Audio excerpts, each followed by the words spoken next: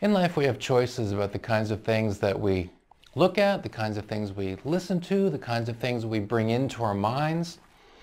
In the ancient world, Paul, or St. Paul, wrote some advice to people living in a place called Philippi.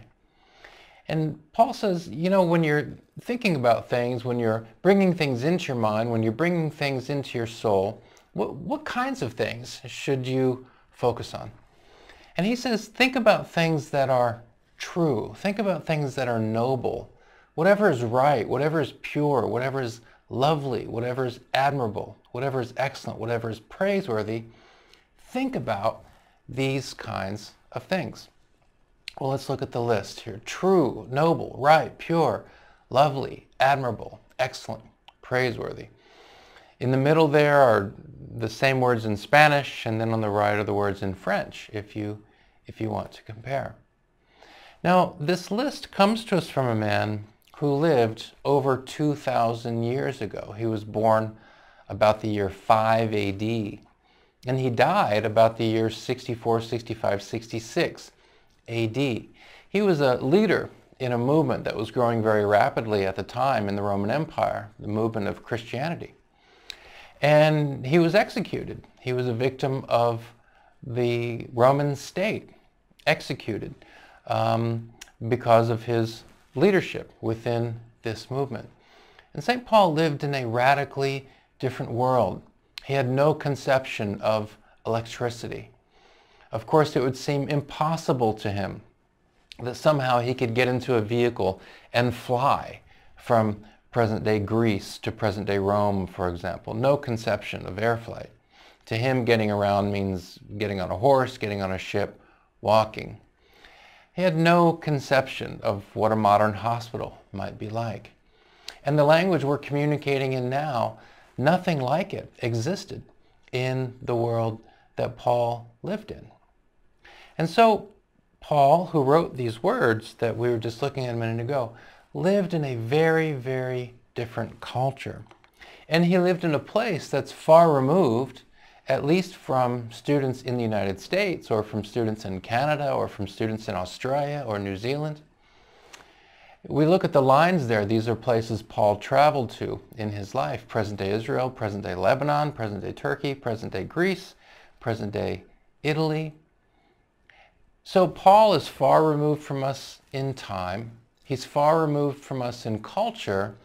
And the part of the world that he lived in is far removed from most of the people who will you know, look at this video, right? Particularly those of us living in the United States. He's far removed from us in language. Paul was multilingual, and the language he wrote in is Greek. And that's Philippians chapter 4, verse 8, there in Greek. And unless we've studied Greek, then that looks like a bunch of mm, perhaps interesting squiggly lines, right?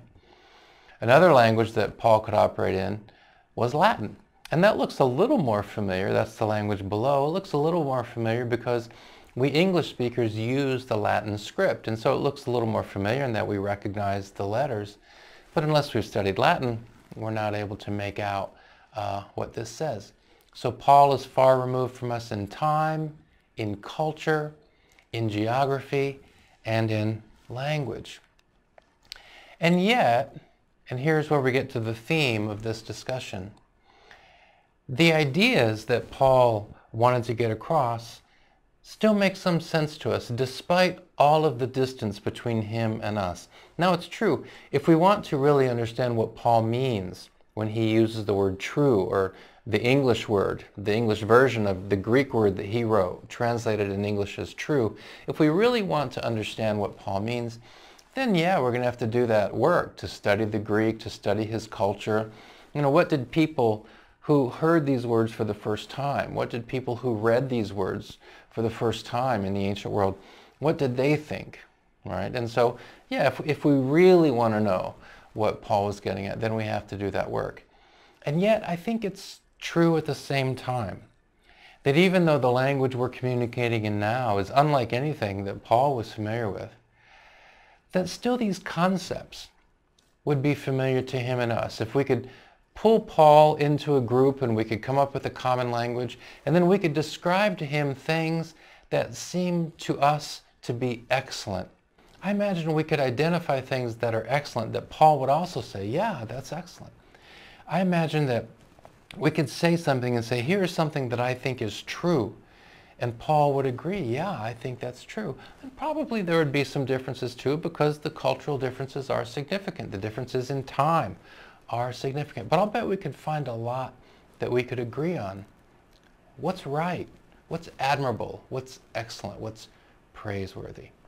And that's the theme of, of this discussion, that the idea that even though cultures are very different, historical change obviously happens, languages are very different, still it may be that there are certain moral concepts that human beings share across time and across culture.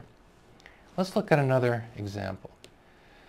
Here's a sentence from a text that's even older than the New Testament. The, Paul's letter to the Philippians is part of the New Testament, and that's an ancient collection of writings. The Dhammapada, what this sentence is taken from, is even older, several, several hundred years older. Here's this sentence. Though you might conquer in battle a thousand times a thousand men.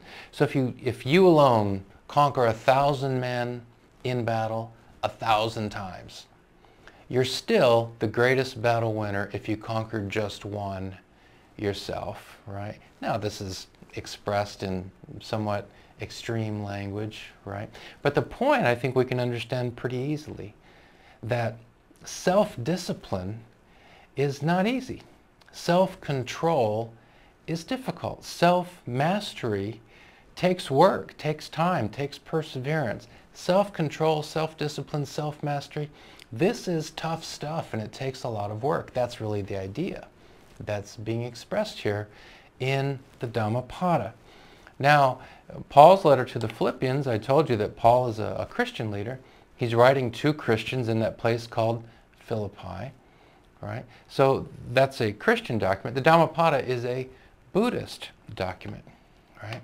And when we talk about the Buddha, we're talking about a person who lived about 450 years before Paul, so several hundred years before Paul. So it's much older. It's even further removed from us in time.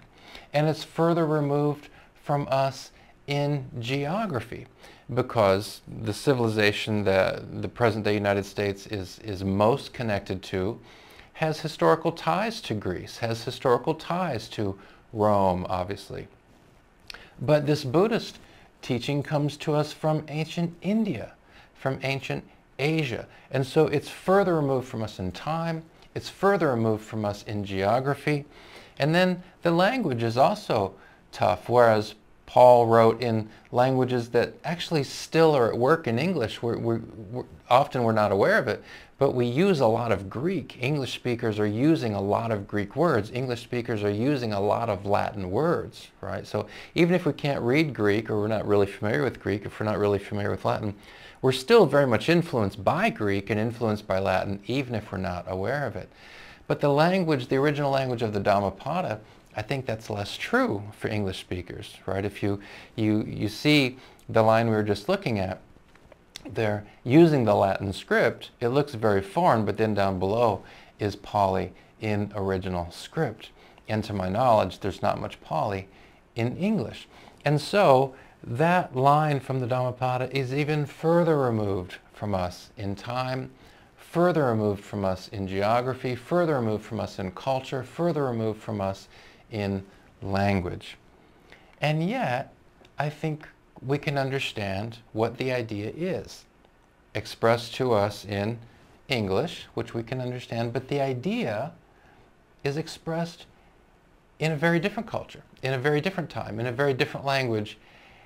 But I think if we could pull in somebody from the year 300 BC who read this idea in the original language and then ourselves and we could come up with a common language and we could discuss this theme up it we could come up with some agreement on what it means the importance of discipline the importance of self-control. Here's the idea that perhaps it's true that Well, it certainly is true that you have very different cultures in the world. You have very, very different languages in the world. There's tremendous historical change. Cultures change.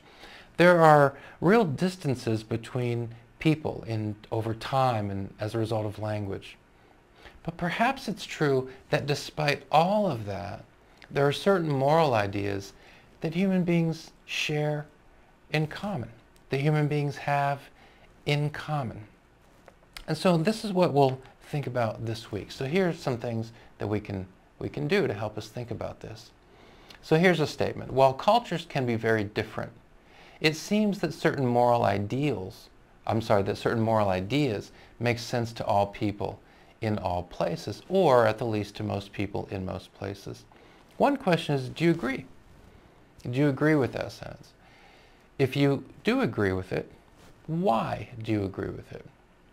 If you do not agree with it, why don't you agree with it? And so this takes some thought, right, to think, think this through. Do I agree with what the, that sentence says? Another thing we can do is look at the second bullet point.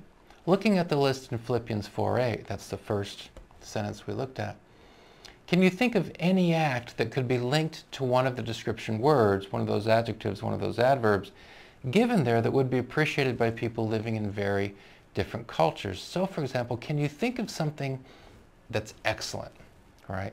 Here's something you think of as like, okay, yeah, I think that this particular thing is excellent. And can you imagine bringing in someone from ancient India, bringing in someone from ancient Greece, expressing to them your idea of something that you think is excellent, and can you imagine them also saying, yeah, I, I agree with you. I think that that is excellent. Or I think that that is good or I think that that is admirable. I think that that is praiseworthy. I think that that's true, and I think that that is right. And not only talking to people from the ancient world, but if we had a similar conversation with somebody living today in Bolivia, living today in Fiji, living today in France, living today in Nigeria. The idea we're working with is that although languages are very different, Cultures are very different. Historical change certainly happens. There are certain moral ideas that human beings can just identify with, kind of regardless of all of those differences. What do we think about that idea?